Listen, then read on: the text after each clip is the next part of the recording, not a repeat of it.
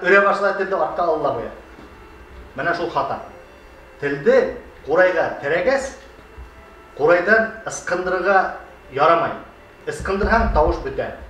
Бына ошондай оҫталыҡ дәрестәре ойошторолдо Салауатта. Ҡаланың музыка мәктәбенән Ғафури, Стәрлебаш һәм башҡа яҡын тирә райондарҙан балаларҙы ҡурай, думбыра, ҡумыҙ серҙәренә өйрәткән уҡытыусылар, музыка белгестәре йыйылды. Улар бергәләп эш мәлендә килеп тыуған ауырлыҡтар, ҡыйынлыҡтар һәм хаталар хаҡында һүҙ алып барҙы. Ҡурайҙы өйрәнгән ваҡытта хаталар әлбиттә күп. Ни өсөн тигәндә, һәр бер уҡытыусы үҙенсә өйрәтә, үҙенсә ишетә. Шуңа күрә беҙ менә ошол сараны инде күмәкләшеп, йыйылышып, шул хаталарҙы эшләмәҫ өсөн э, ҡылған ниәт.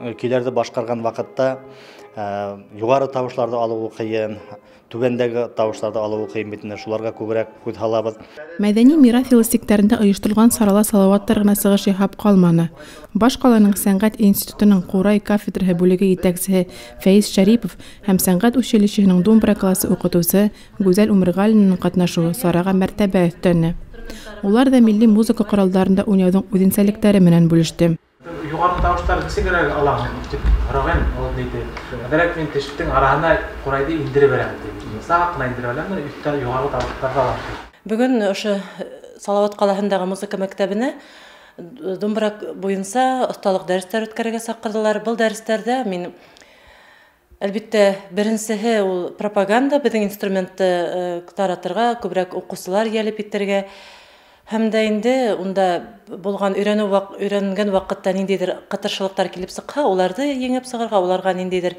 еңелерәк булһын өсөн әҙерәк алымдар күрһәтергә тигән маҡсат менән үҙемдең булған белемдәрем менән бүлешергә тип ошо ҡалаға бөгөн килдек.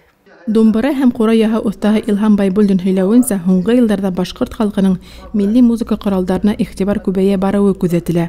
Уны өйрәтеүселәр һәм өйрәнергә теләүселәр һаны арта. Бигерәк тә эҙләп уйнарға теләүселәр булыуы шатлыҡлы. Ҡурай сәнғәтендә эҙләү алымы ул юғары кимәлдең береһе булып тора тип әйтергә кәрәк. Ҡурайса әгәр ҙә эҙләп уйнаһа, ул юғары кимәлгә еткән ҡурайсы тип һанарға була. Шулай думбыра уйнағанда ла эзләүҙе нисек итеп башҡортса көйләп эзләүен мына шундай мәғәнәлә республикала эш алып барыла. Ысынлап та ошондай аралашыуҙар бик тә кәрәкле булып тора. Сара үҙ мәктәбеңдә ҡайнап ҡына эшләүҙән тыш, коллегаларың менән аралашыу, тәжрибә уртаҡлашыу йәһәтенән дә файҙалы, шул уҡ ваҡытта әһәмиәтле булып ҡала.